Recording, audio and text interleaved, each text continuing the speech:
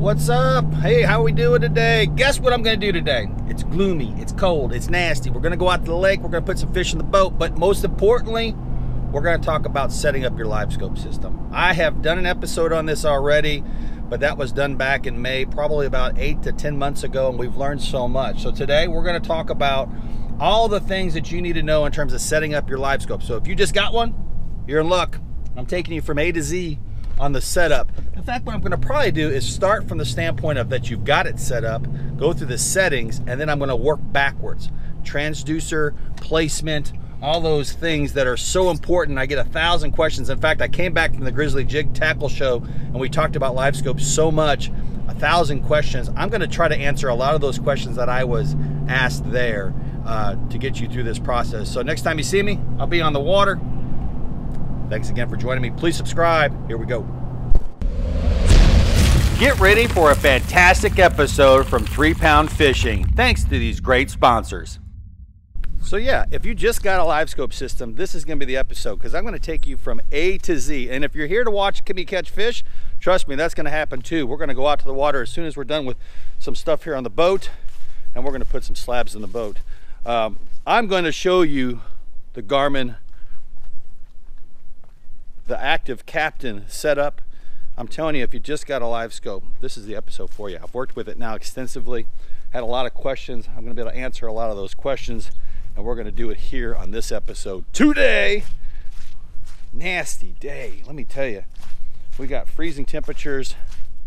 Um, well, I guess it's your typical winter day, but hey, just to let you know, I've got some new hoodies out there. I'm not showing, maybe I'll show a picture here on the screen, but um, they probably won't be on our website. It'll be something you'll have to email me at threepoundfishing at gmail.com to get to, but um, they're pretty sweet.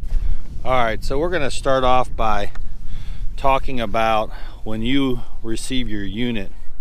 When you receive your unit, your forward view is gonna be set to automatic and so is your depth.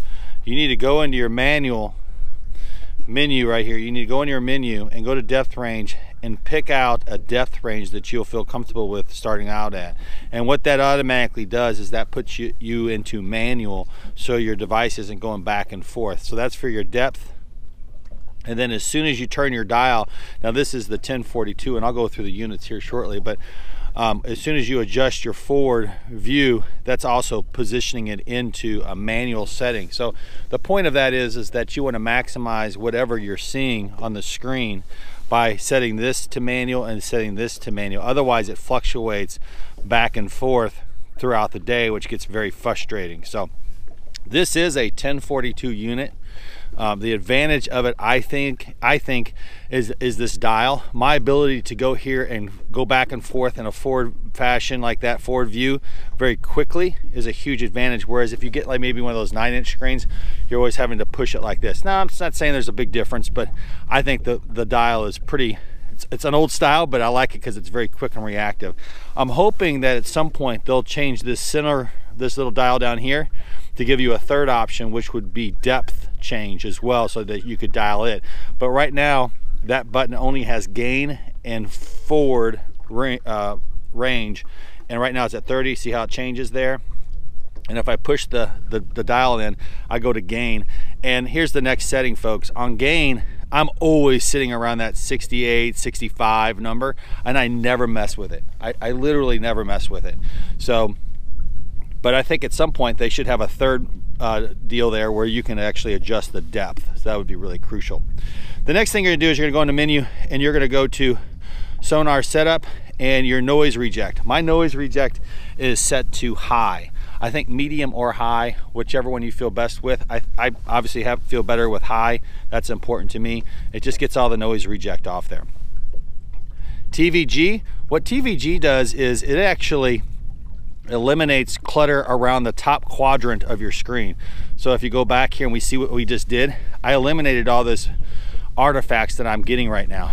Um, so I actually have it set as off and I'm okay with the artifacts being up there because at the end of the day, I'm rarely fishing something that's up here um, and to be and also for some reason you know and this might be just my unit but when the sun comes out all this clutter goes away but when it's overcast it seems to be there a lot more Um, as the day, it kind of changes, but regardless, my TVG is always off.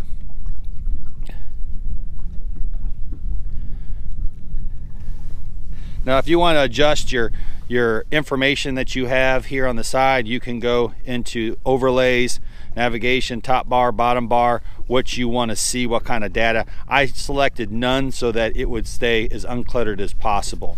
You're also, when you get your screen, you're going to have probably a sidebar right here.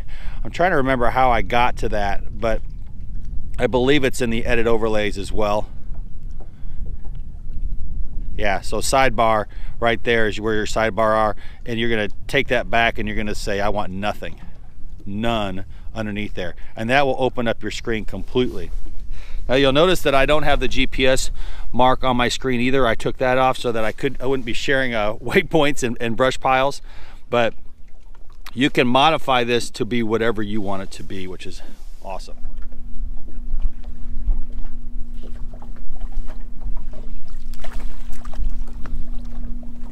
Oh, that's a small fish, but it's the start of the day. Didn't take but less than a minute to get a first fish on. Uh, today I'm fishing. Active Captain is on now. Now,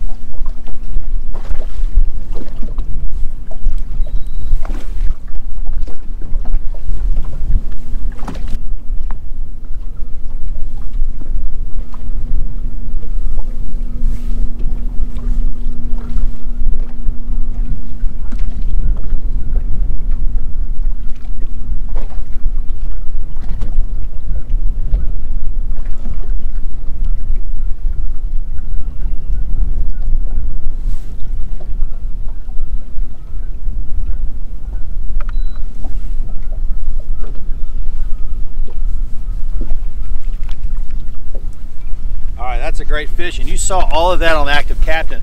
What I did was I, when I realized that the fish were moving through, I decided to cast out there. And that's a big fish right there. That's probably a 13 inch fish. I decided to cast away from their boat and drag it through them. And you saw that bite. So successful, Active Captain showing. Now Active Captain is not available on every unit. So be sure that you check that out okay? I know that on the 1022, the 1222, the 1242, the 1042, they are, it is available on that, um, those units. But basically all you're gonna do is download the app and then um, queue it up, match it up to the Wi-Fi that's on the unit, and you're gonna be able to record all of the stuff that you need to record to show off great catches like that. That's fantastic. We're gonna let these guys go today. But that's a great. All right, so let's have another look at this. Here I am dropping in behind the school of fish that are moving towards me. So I know that these fish are moving towards the head of my trolling motor. And all I do is I pick up my lure, I see it, and I try to hover it right above the fish. I don't want to go into them. I don't want to disrupt them. I want to see if anyone wants to come up and grab it. And that one did right there. And there's your 13 inch slab.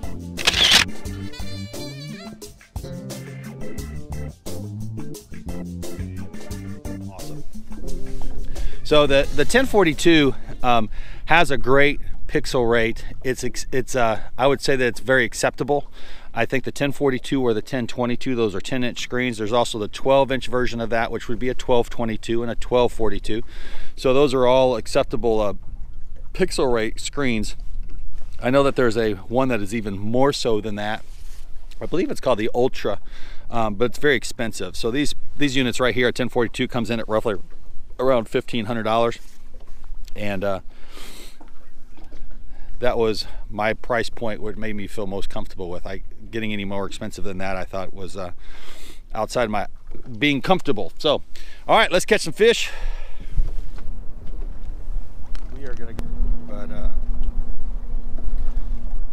still really good fishing. They seem pretty active today. Now these fish are at six feet, so I'm staying away 50 feet.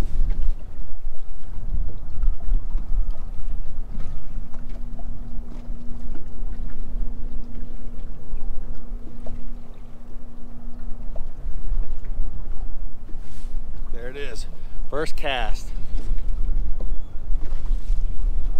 There he comes. So that the, the fish were 50 feet away because they were only six feet down, I stayed that far away. This is a good fish. Probably going to be the best fish of the day so far. Oh yeah, it's a two pounder. This is a two pound fish. That's a two pound fish. That is a hog. Let me see.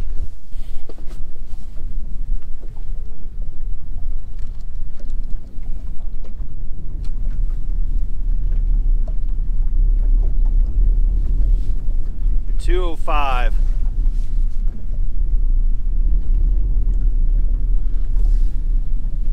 says straight up, oh, there it is, 207. And if we measure it out, that's a 15 inch fish. We're going to keep it for pictures, but we are going to release it. And that's how it's done. That's awesome. Ozark Rods Pro Series. Use the code 3 pound for 10% off. Folks, you can't beat that. Anything on the website, 10% off. Great rods.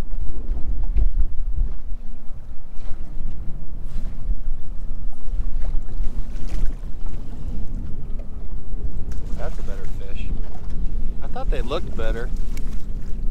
That's, a, that's about a 13. That's a good fish. Shake it off. Come on. You're going to have a big selection of options on mounting it. Um, I've got it mounted on my shaft right now because I want to chase crappie. I want to go left, right really quick. The Ultrex allows you to do that. So if you have a trolling motor like the Ultrex where it's quick left and right, I think putting it on the trolling motor is the most efficient way to do it. Let me show it to you. So here's the configuration. Now that's that is called a port side installation. Port side installation. There's also a starboard installation, meaning it's parallel to the ground and I think it looks and makes the most sense. The other option is you can put this transducer on your barrel of your trolling motor. Here's the issue I have with that. Let me just point out the barrel real quick. The issue I have with that, and I have had it on the barrel before, is that it really leaves it exposed. Um, when I'm going through timber and I've got that thing on the barrel, I feel like it just takes me to come up against anything and it could hit that transducer. So I totally recommend putting it on the shaft. I feel at least then at that point you have the front of the barrel that will protect your transducer in case you run into a stump or something like that with your trolling motor. Now the other options you have are the standalone uh, you know handles like the fishing specialties that I have. You also can get the uh, live sweep from Cornfield Crappie Gear. Those are great options too. But I always tell people, I say, hey, there's no reason why you wouldn't start with maybe the trolling motor shaft. It's not like you're tied to it forever. Um, you take it off, you try the barrel. If you don't like the barrel, again, I don't recommend the barrel. You simply take the transducer off, you fix, fix it to a live sweep system or a fishing specialty system, uh, all great, but you're not tied to it. It's very easy to move this thing on and off. Also, in terms of your installation, don't forget to use electrical tape. Do not use zip ties. They say that might damage the cable itself.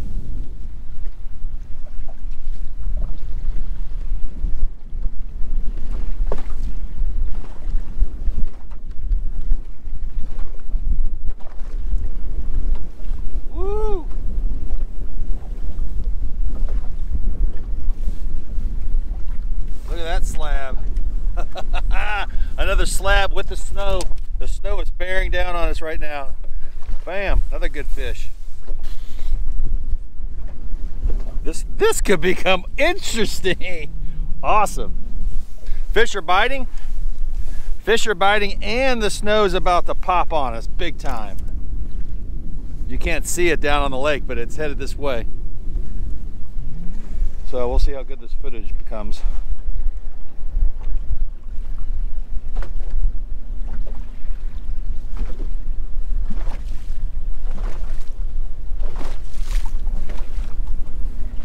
Amidst a snowstorm. Woo!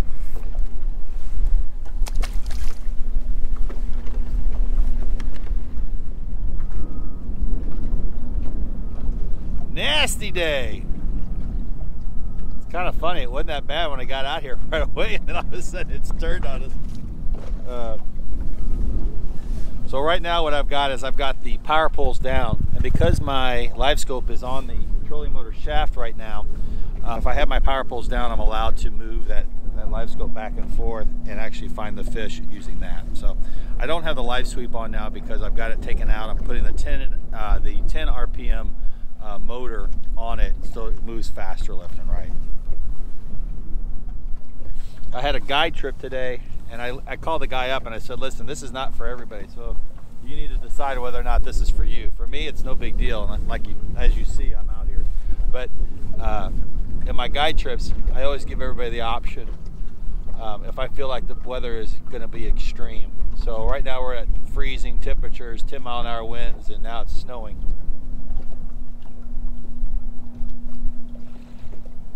I say that's extreme.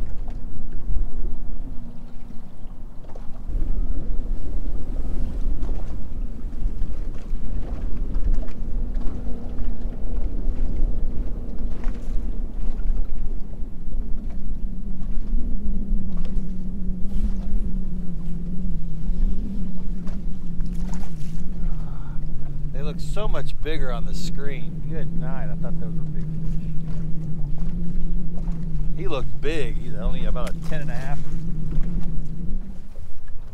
So the big key with live scope is truly just keep adjusting. I think that the advantage of the 1022 and the 1042 and the you know these type of monitors is that dial, the ability to move back and forth on forward view, uh, maximizing your screen, those type of things big, big, big advantage. I don't think people um, understand as, as well as until you get your unit. Also, the other thing about to consider is that there's a lot of touch screens out there. Um, the reason why I'm not for touch screens is that you're going to get a lot of stuff on your hands and you do get a glare on these screens when you're staring down them all the time. If you have a bunch of fingerprints and guck on your hands, that makes it really difficult to see what you're looking for. So. Now, let's also talk about the mounts. Very important.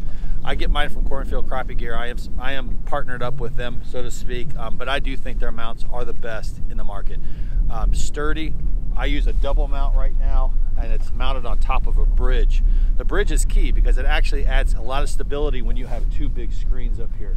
So Cornfield Crappie Gear, that's not a sales pitch, folks. That's reality. They are the best mounts uh, in the business. I can be going down the lake with double setup uh, full throttle, big waves, and that sucker is tied to my boat.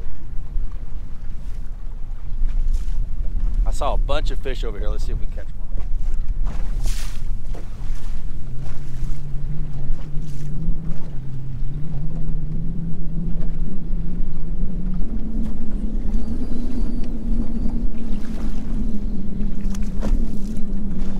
Oh, that's another good fish. So the other thing to consider is the palette. I use the amber palette that the unit comes default at. I guess I, I've tried a lot of the different colors, the green, the blue, all that crap, but at the end of the day, it's just more whatever's a, ple uh, pleases your eye. Uh, I'm used to the amber color from Humminbird as well, and so I've kind of stuck with, with that color palette. There we go, got it out there let it fall a little bit. We gotta get down to six feet. Even with that weight, you gotta give it a little, little, little weight. Then just start drawing it back.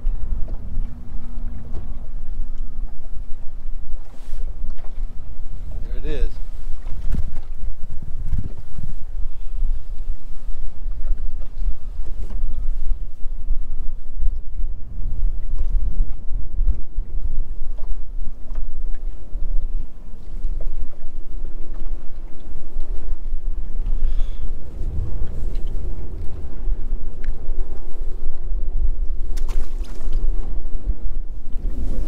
that if I had one thing I wish that Garmin would do it also is add some maybe additional levels of brightness to their screens. Compared to a Helix, the brightness is definitely not near that near that whatsoever. Um, so a lot of times when you've got glare, sun going on the screen, you can hardly see anything.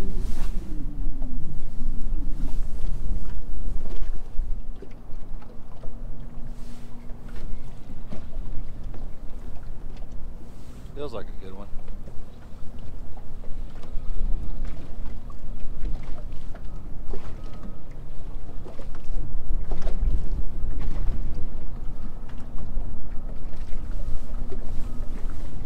Yep, 12 incher. Nice fish right there, nice fish.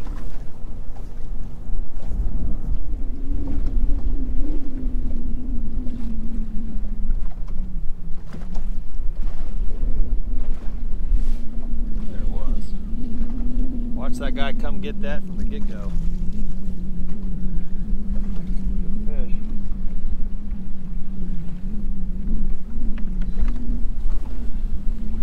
That's 11 inch fish right there. Maybe 10 and a half. What's up, folks? Hey, great morning on the lake. It was a cold day, but the fish were moving, and boy, did we put some fish in the, in the live well. I'm gonna let this guy go here. I'm gonna show you. This is a 2.08 slab pulled in with the old Ozark rods right here. Use the code 3 pound for 10% off. That's a big fish. I'm gonna put this.